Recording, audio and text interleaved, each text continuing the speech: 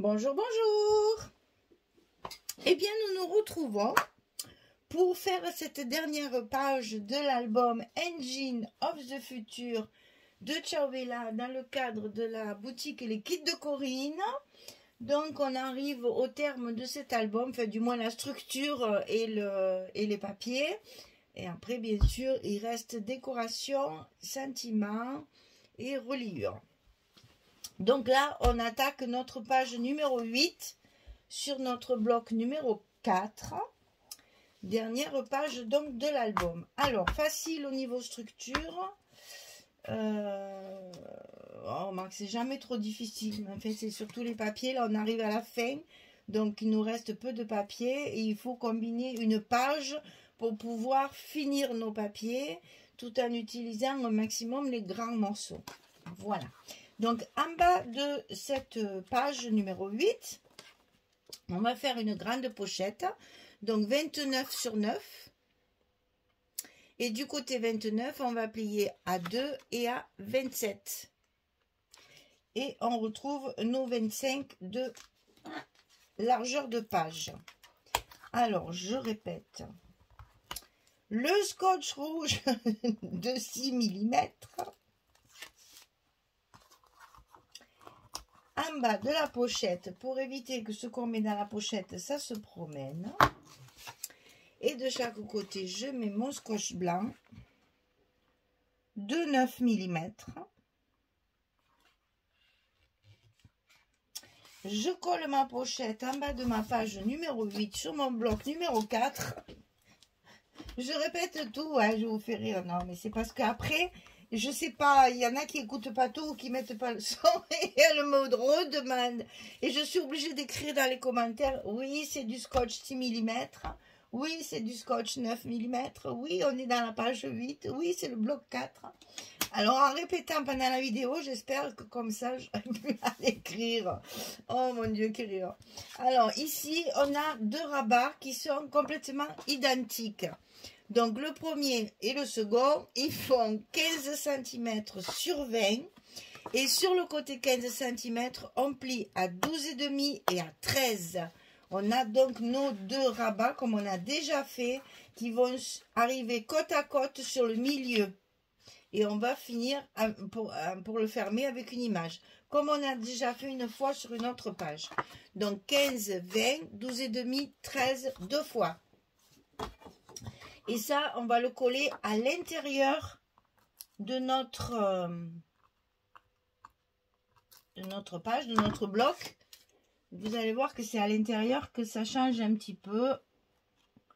C'est toujours pareil, j'avais prévu ça, puis il me reste du papier, alors je rajoute une pochette, puis il m'en reste encore, alors je rajoute des cascades. Vous allez voir, c'est c'est fou. Au fur et à mesure que je, monte le truc, comme il me reste du papier, je rajoute des choses. Alors, la seconde ici, du côté droit, bien sûr.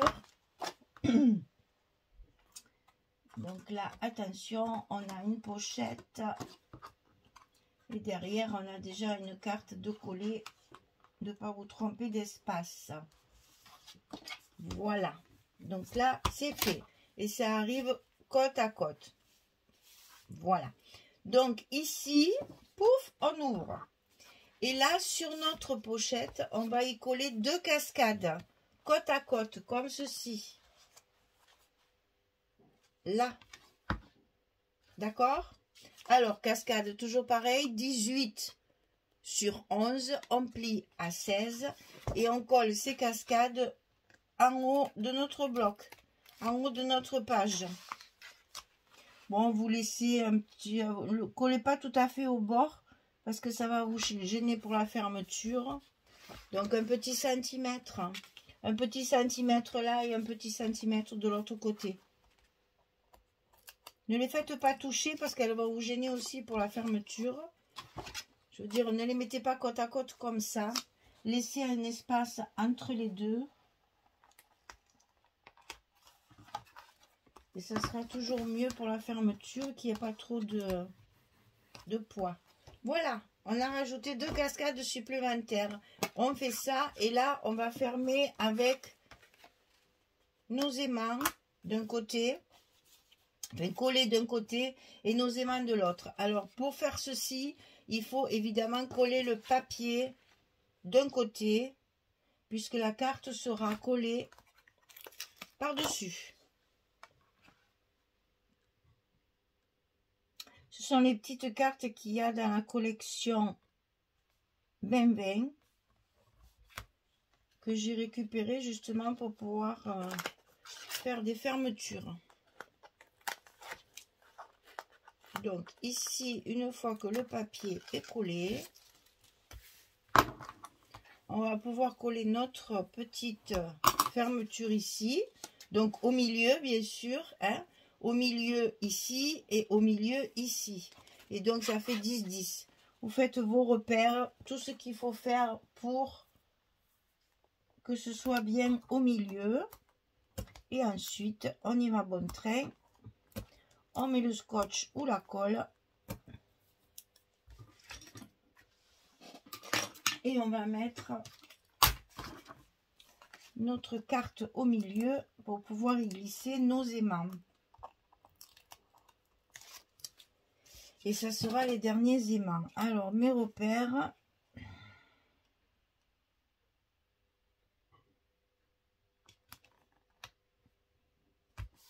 Voilà. Donc là, elle est en place. Et ici, on va donc y mettre nos aimants et c'est ce qui va servir pour fermer les deux rabats.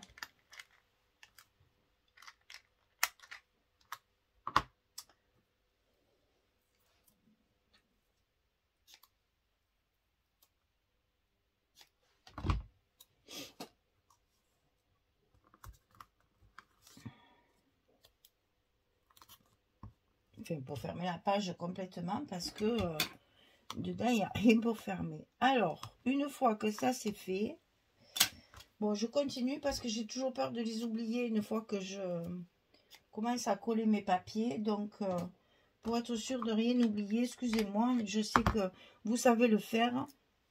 Mais bon, je préfère prendre mes précautions pour ne pas oublier de les mettre. Et après, être obligé de décoller tout le module là. Voilà. Hop, allez. Là, c'est en place. Maintenant, on peut travailler. Voilà.